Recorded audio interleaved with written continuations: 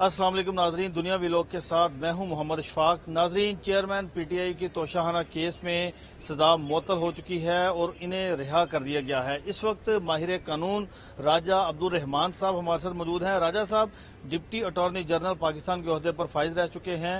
राजा साहब, आज बिलाहिर सजा मुअत्तल हो गई है चेयरमैन पीटीआई की। आगे क्या हो रहा है? रिहा हो पाएँगे, नहीं हो पाएँगे? आगे क्या होगा?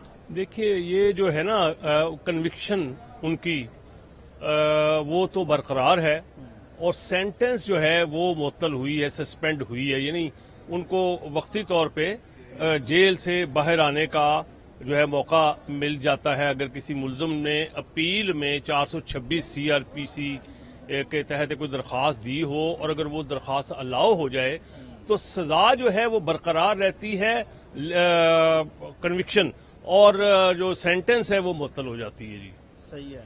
तो अब चेयरमैन पीटीआई क्या अब रिहा हो पाएँगे? क्या लगता है आपको? मैं देखिए बात ये है कि ऑर्डर में ही लिखा हुआ है कि इन्हें रिहा कर दिया जाए अगर किसी दीगर मुकदमे में मतलूब ना हो। अच्छा, अगर किसी दीगर मुकदमे में मतलूब ना हो तो वो तो दीगर मुकदमात में मतलूब है? दीगर मुकदमात में वो तो बड़े संजीदा किस्म के हैं नाइन्थ मे वाला जो केस है और इस तरह से दीगर जो केसेस हैं तो ये बस मे भी उनकी आनियाँ जानियाँ जो हैं वो शुरू हो जाएँ और उसमें भी बेशुमार केसेस में उन्होंने जमानत करवानी होगी।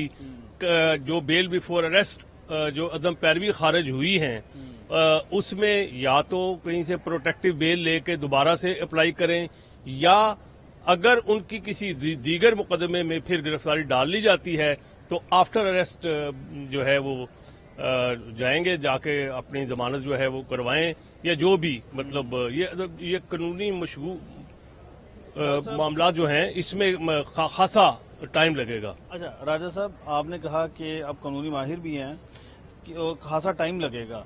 तो अब क्या आने वाले दिनों में जो इलेक्शन होने जा रहे हैं आपको क्या नज़र आता है? चेयरमैन पीटीआई इलेक्शन में हिस्सा ले पाएँगे? कोई इस तरह का माहौल बन जाएगा उनकी सजा पर ही फैसला हो जाए हतमी तौर पर?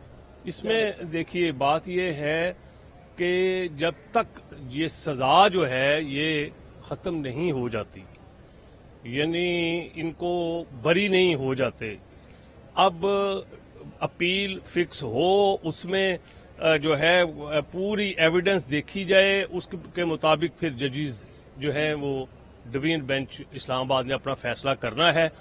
तब तक, जब तक इनकी सजा जो है बरकरार है।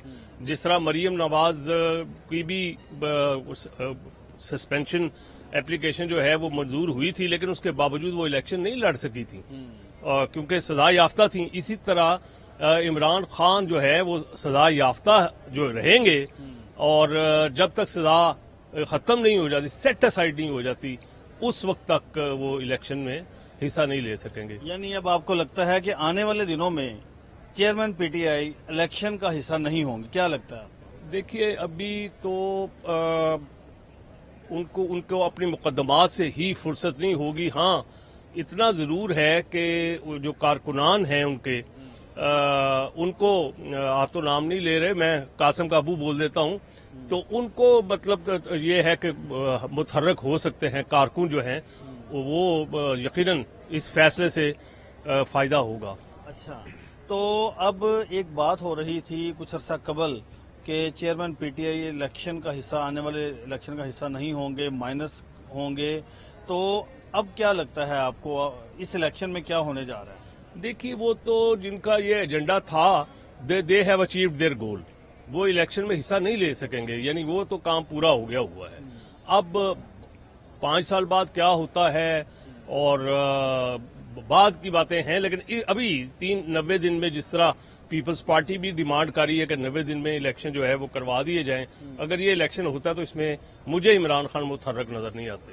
अच्छा तो अब जो बाकी केसेस हैं उसका क्या इफ़ेक्ट पड़ेगा चेयरमैन पीटीआई पर? खासतौर पर जो जिना हाउस है जो साइफर है जो अलकादर ट्रस्ट केस है उस हवाले से। साइफर और नाइन्थ मे वाला जो है these cases are very serious और अभी देखते हैं कि, कि मिलिट्री कोर्ट्स के हवाले से भी जो है क्या अल्टीमेटली फैसला करती है सुप्रीम कोर्ट।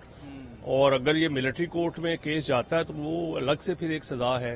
आपको लगता है कि चेयरमैन पीटीआई के हवाले से मामला मिलिट्री कोर्ट में चले तो जाए? बस देखिए बात यह है कि केसेस में उन्होंने बड़े संगीन किस्म के इल्ज़ाम हैं उसमें तो it is a serious matter जिसमें यानी इनमें इनको फेस करना पड़ेगा।